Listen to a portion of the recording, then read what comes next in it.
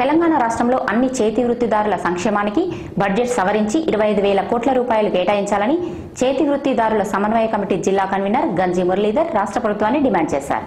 నల్గొండలోని దొడ్డి కొమరయ్య భవన్లో చేతి వృత్తులు సమన్వయ కమిటీ జిల్లా విస్తృత సమావేశం అవిశెట్టి శంకరయ్య అధ్యక్షతన జరిగింది. ఈ సమావేశానికి ముఖ్య అతిథిగా హాజరైన ఆయన మాట్లాడుతూ రాష్ట్ర జనాభాలో యాభై శాతంగా ఉన్న వృత్తిదారులకి అరకొర నిధులు కేటాయించి వీరి సంక్షేమానికి ఏం కృషి చేస్తారని ప్రశ్నించారు.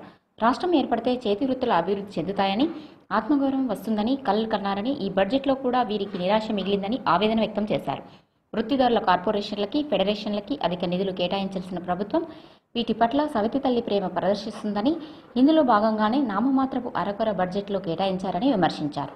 ఈ సమావేశంలో వృత్తిదారుల సమన్వయ జిల్లా నాయకులు కల్లుగీత కార్మిక సంఘం జిల్లా అధ్యక్ష కార్యదర్శులు కొండ వెంకన్న సిహెచ్ సీతారాములు చేనేత కార్మిక సంఘం జిల్లా నాయకులు రావిరాల మారయ్య రైతు సంఘం జిల్లా నాయకులు చెరుకు పెద్దలు మత్స్య సంఘం నాయకులు మురారి మోహన్ క్షౌర వృత్తి క్షౌర వృత్తిదారుల నాయకులు కానుగ అంజయ్య యాదగిరి తదితరులు పాల్గొన్నారు.